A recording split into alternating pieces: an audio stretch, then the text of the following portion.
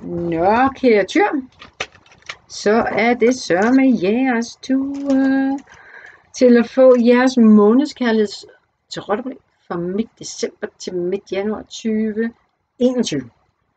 To orakelkort, som kommer ind og giver helhedsenergi til sidst omkring færds oplæg. Første tre kort er fra den 15. december til 1. januar. 1. januar, fordi der er både ny årsenergi, månedsenergi. Øhm, så har vi lige to kort fra 1. januar. Så har vi tre kort igen fra 1. januar til 15. januar. Og det er jo i forhold til kærligheden på alle plan. Og tyren. Øhm, I er jo jordtegn, ja. Og vi har The Lovers. vi har The Empress. Vi har For os Swords. Der er kvinder over det hele her. Øhm, vi starter lige med For og Swords. Skyggesidearbejde. Sværkortene, lufttegnets kort. Rationel energi, der kigger på øh, igen på hvad der ligger i roden, på hvad der ligger i tyren. Rod her i din rod, i din fortid. Hvad er det, du fagner, eller hvad er det, du stadig holder fast i? Er det noget fra din barndom? Er det et tidligt forhold? Har du, hvad har du haft svært ved? Øhm, øh, og hvad, er det, hvad har du oparbejdet i forhold til et skjold for jer ind? Jeg skal sige, har du oparbejdet et form for skjold, eller en form for ikke at ture og stå i dit eget lys, i dit eget vær, i dit eget selvsikkerhed, kære tyr. For der er sådan en energi her, netop fordi det, er en, det var nymåne den 14. december, det her oplæg er fra den 15. december og 14 dage frem. Så nymånens budskaber eller energier tager vi, er netop dem, vi arbejder med ind i her imod en kommende fuldmåne den 30. december 2020. Så der er netop en proces fra den nymåne den 14. til den 30. december. Og det er det, der kommer ind via det her kort med sværene her.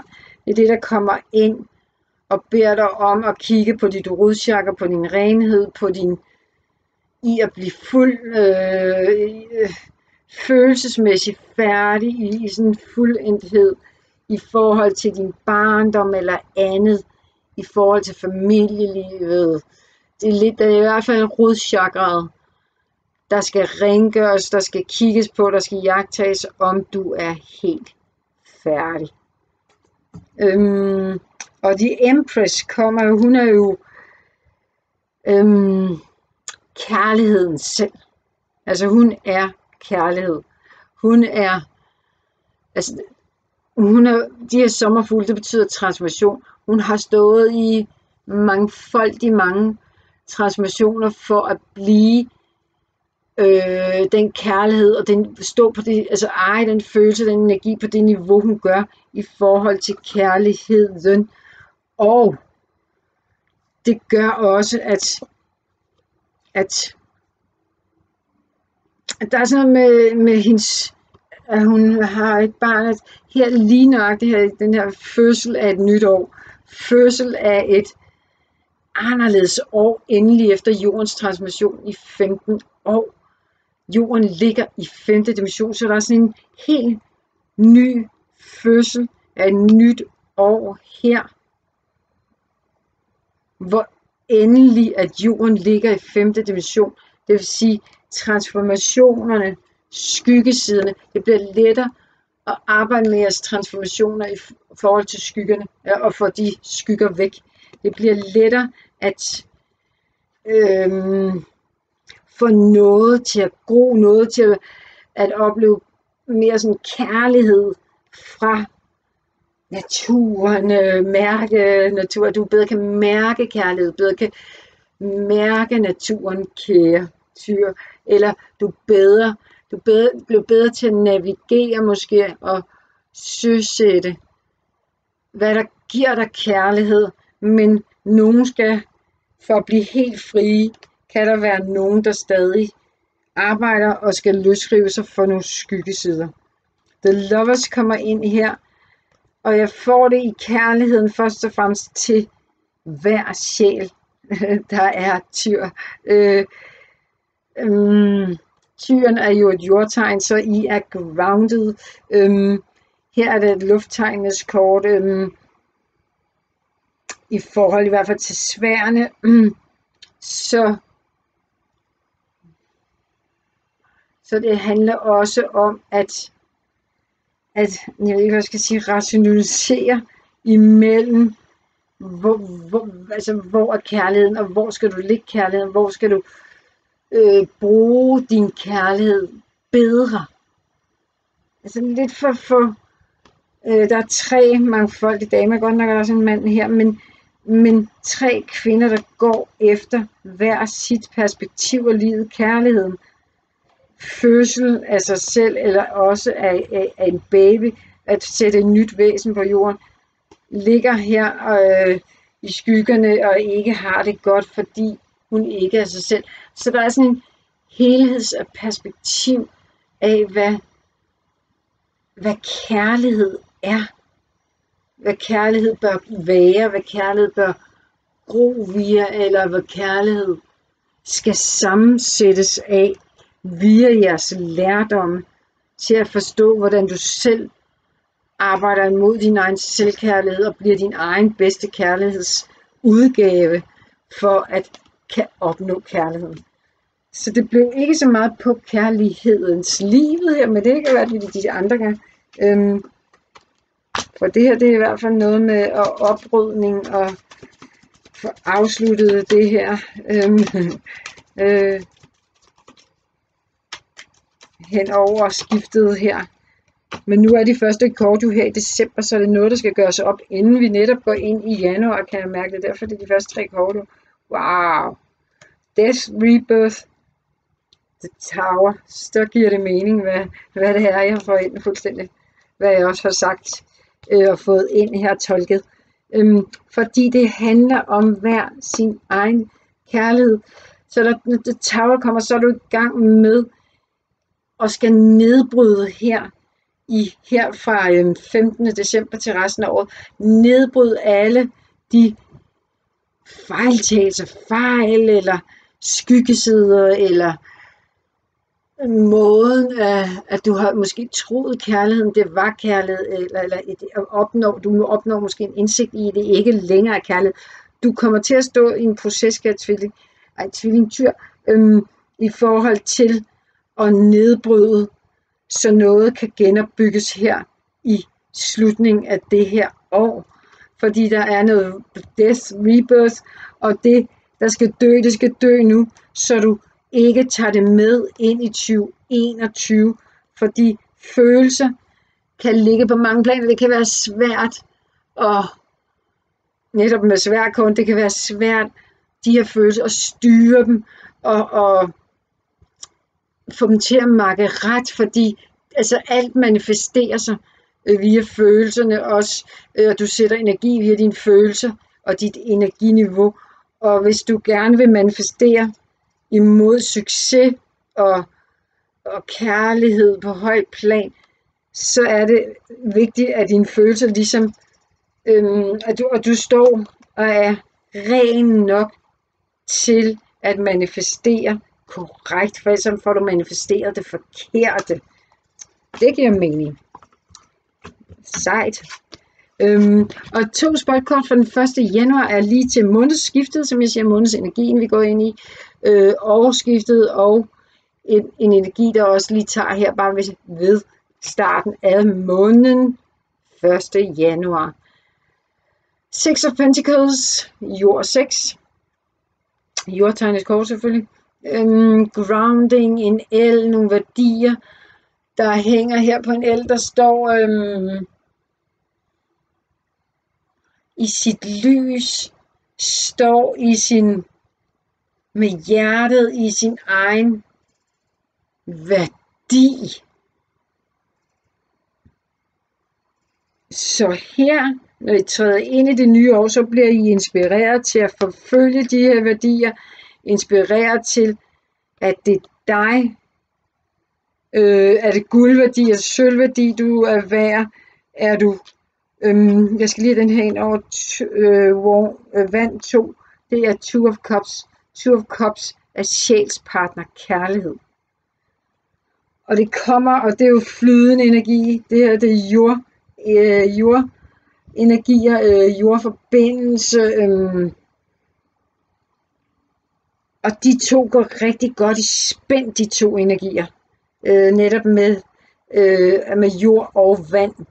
Øh, så der er noget både med jord og vand, I skal tage til jer i forhold til jeres proces imod kærligheden, hvordan I selv får et kærlighedsliv, eller udlever det her kærlighedsliv på en bedre, mere flydende, renere, vær, værdimæssigt måde.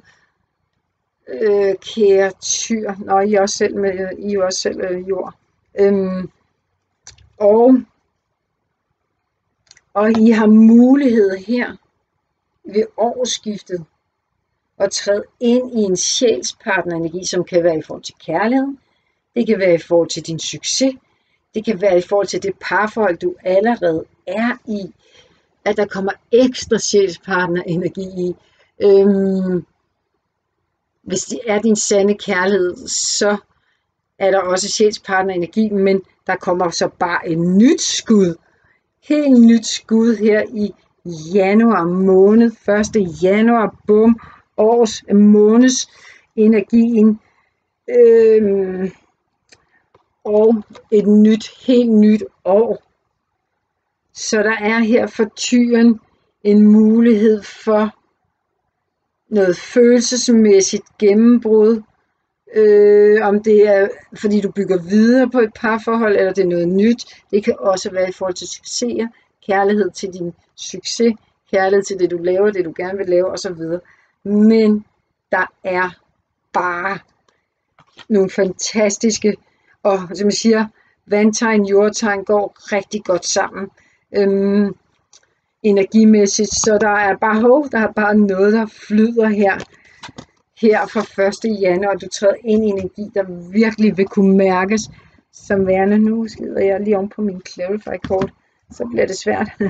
Øh, men de første tre kort her, øhm, fra den 1. til den 15. januar er Justice for tyren, Knight of Pentacles og The Devil. Ikke nok med, at I har The Tower og Death og Rebirth, så, så har I også The Devil.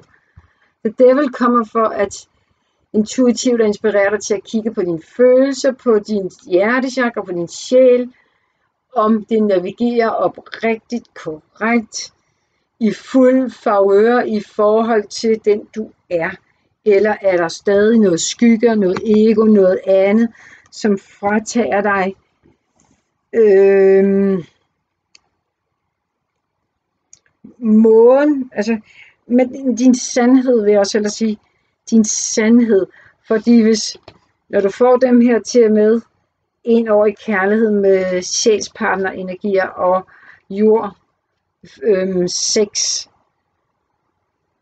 så er der fokus på, at noget arbejder imod et højere niveau i kærlighedslivet, imod noget, der er ægte. The devil, øh, han bliver aldrig lys, han bliver aldrig ægte. Så det kan være den modstand, der kan have været i dit liv i forhold til kærlighedslivet. Øhm, at noget, du ikke selv har set, det er noget, du måske er blevet født med, det er noget, du måske bare har tillært.